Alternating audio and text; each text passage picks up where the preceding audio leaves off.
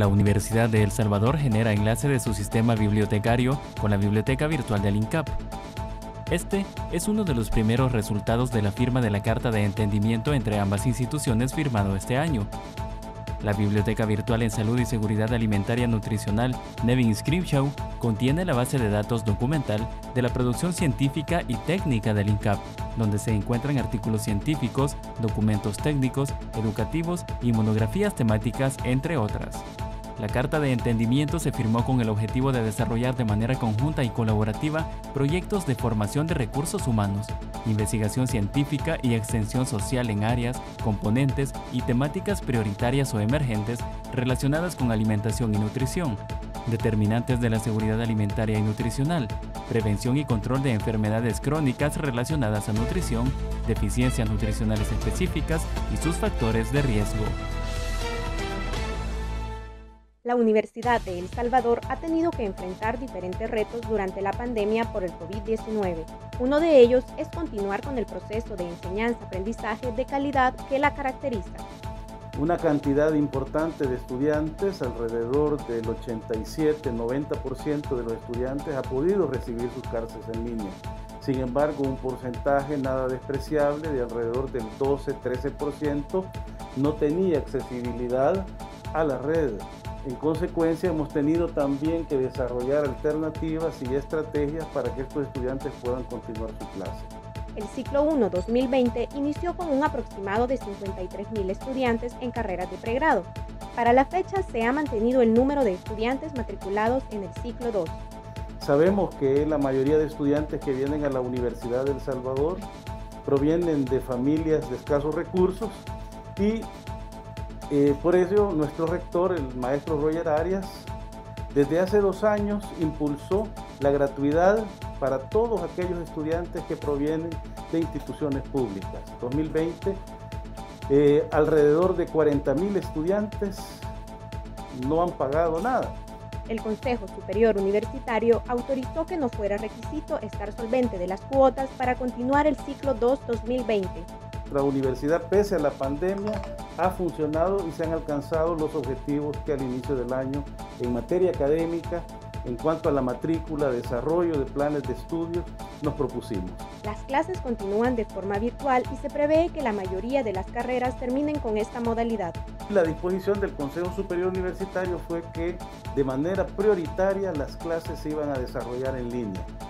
Hoy por hoy le puedo garantizar que nuestros profesores y estudiantes están desarrollando su proceso de enseñanza-aprendizaje a través eh, de la red y que de manera, por decirlo así, excepcional, estudiantes van a tener que venir al campus central o alguna de las sedes multidisciplinarias. Cuando digo de manera excepcional, me estoy refiriendo a aquellas especialidades que tienen programados trabajos en laboratorios o talleres. Hasta la fecha, eh, septiembre, eh, la universidad no está recibiendo estudiantes presencialmente para desarrollar actividades académicas. La prueba de conocimientos para los aspirantes 2021 se realizará de manera virtual el día 10 de octubre del presente año y presencial para todos los que tienen dificultad de acceder a la red. El Centro de Estudios Ciudadanos de la Universidad Francisco Gavidia realizó la primera encuesta preelectoral denominada Las cartas están echadas. En esta encuesta se buscaba conocer las preferencias electorales de la población de cara a los próximos comicios electorales municipales y legislativos, así como también realizar una evaluación de algunos funcionarios de gobierno. Otro tema relevante en el estudio fue el impacto que la pandemia por COVID-19 ha causado en los salvadoreños y el manejo de la misma por el gobierno. En este tema, la Universidad de El Salvador destaca entre las instituciones que han logrado un impacto positivo con sus aportes en el marco de la pandemia. La universidad a través de sus facultades ha brindado colaboración a la población con la fabricación de alcohol gel, fabricación de insumos para personal de primera línea, entre otros aportes brindados en apoyo a la sociedad. El Movimiento por la Salud Dr. Salvador Allende realizó un donativo a bienestar universitario de la Universidad de El Salvador, con el objetivo de proveer de insumos de protección a la planta de trabajadores. El equipo de protección eh, está compuesto por un gabachón este, desechable, eh, también este, tenemos unas mascarillas este, KN95, un gorro y este, guantes estériles de látex. Este es el componente del equipo de protección de personal. En la entrega participó el doctor Raúl Ascúnaga, vicerrector académico.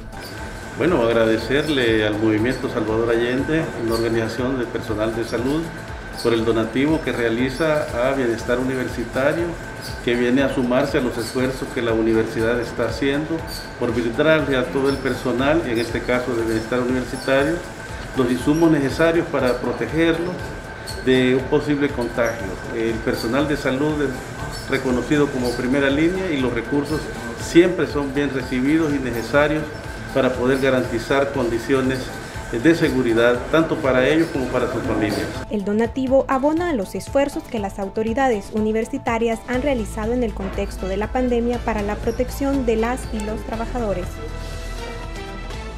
La Secretaría de Proyección Social y los representantes de las 12 facultades de la Universidad de El Salvador realizan la sesión del Consejo Asesor de Proyección Social para conocer el plan de consulta para la reformulación de la política de proyección social, que fue presentada por el rector Roger Arias, quien además mostró su apoyo a la gestión de la licenciada María Cruz Jurado, al frente de la Secretaría de Proyección Social.